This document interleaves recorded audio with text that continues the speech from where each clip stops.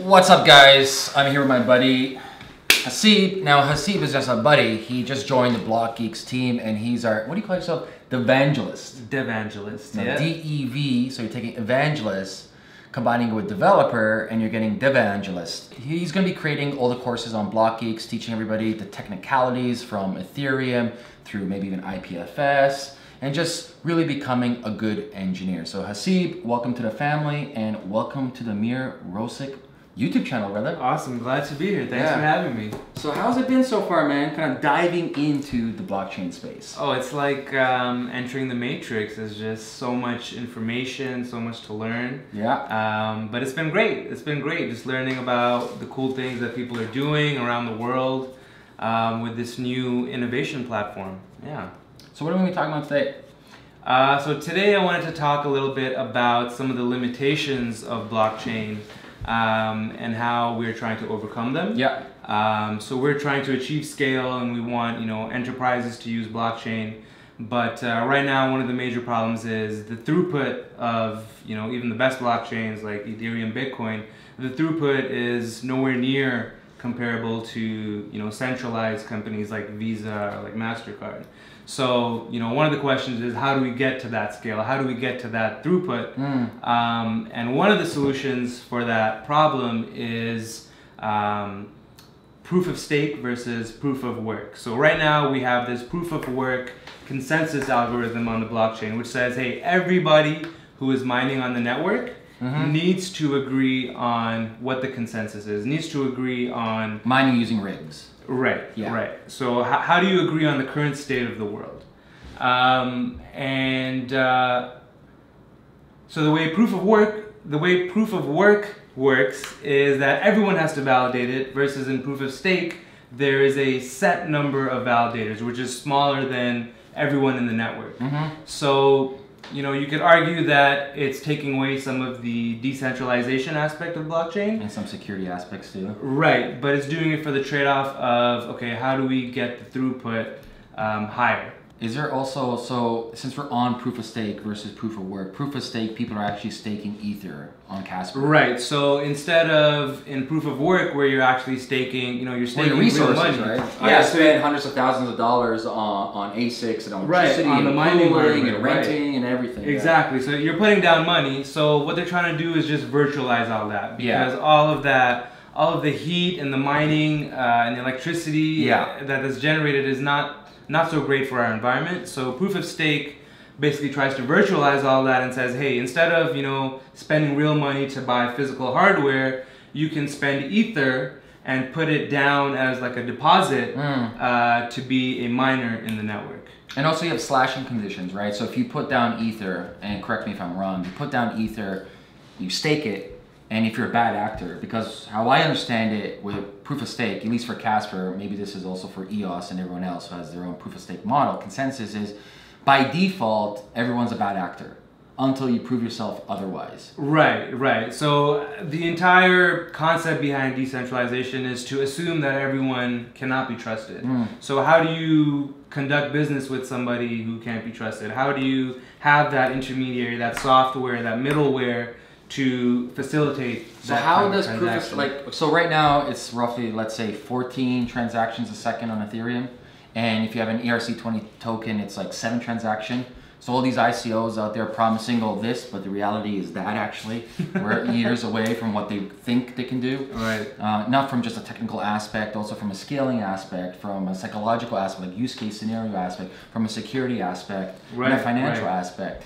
So that being said, I'm curious, how does proof of stake increase scalability?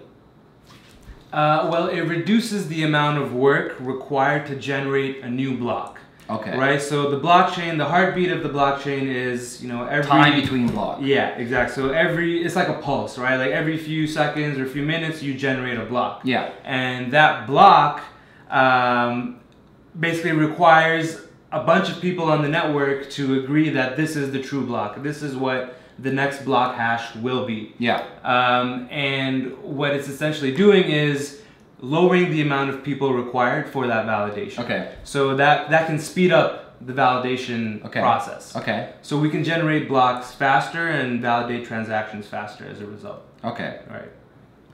Have they said when they're coming out, with Casper?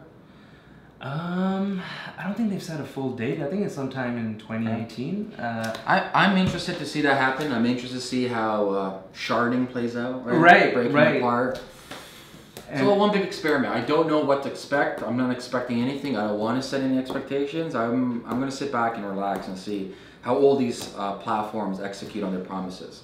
Okay, so you know that's Ethereum. Ethereum states that they can scale, and I'm not too sure the numbers. I think it goes to thousands of transactions a second once hypothetically plasma and all these plasma, sharding, yeah, yeah, et cetera, et cetera. That's one thing.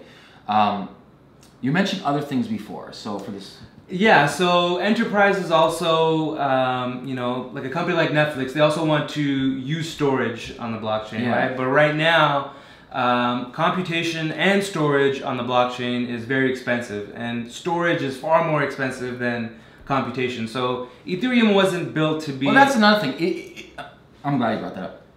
Storing large amount of data on a blockchain doesn't fly. It's the worst ever.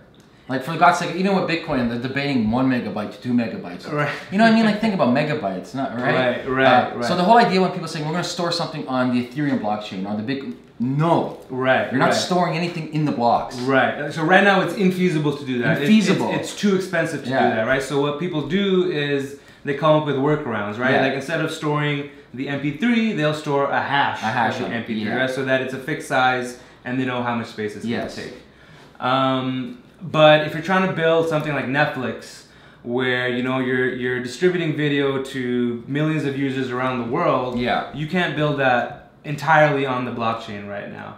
Um, so some of the solutions that we've come up with to, to actually store data um, in a decentralized way, right? Because we want this to be decentralized. Like if we have a storage system like S3 or Dropbox and we all start using that, right? That still kind of defeats the purpose because it's centralized, it can be attacked, and you know it can cause damage to other networks that are dependent Sure. on it, right? So some solutions to this are IPFS and Storj, Yeah. uh, which provide decentralized storage solutions. So instead of your data being stored, you know, on a server farm, your data is distributed across the world, um, and that sort of redundancy guarantees that okay, like you won't lose your data.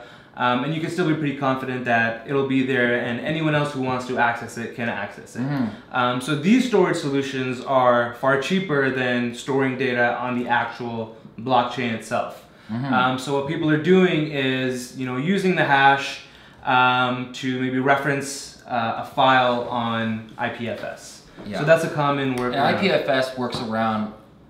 Correct me if I'm wrong. They're just hashing data from.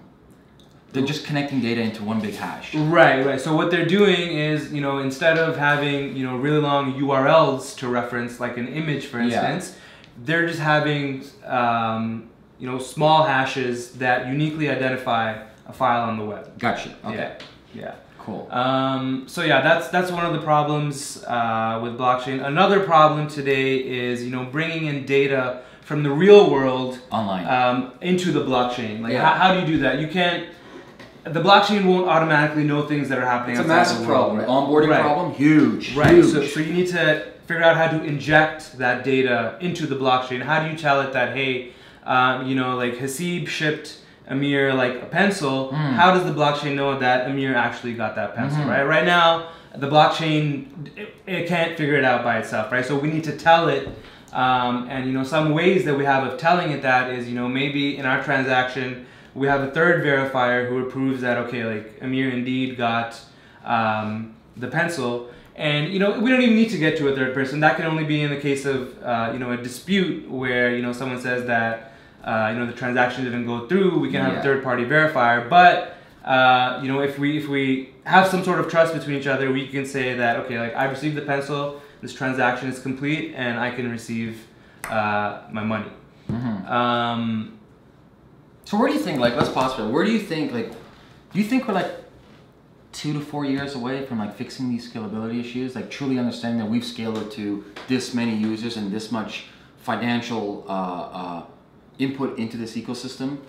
Um, yeah, it's, it's kind of hard to say like was it going to be two years or four years, but I think I think over the next, let's say five years, I think I think we'll start seeing the scale that we need to be, um, you know, enterprise level scale. So then all these crazy startups happening these days, raising millions and millions of dollars. right, right, Like to me, you know, on scalability well, promises. you know, God bless them for trying. You know what I mean? But like, there's what you want, and then there's reality. Right. You know, I right. want to be an NBA basketball player. I'm, I'm, I'm six on the dot.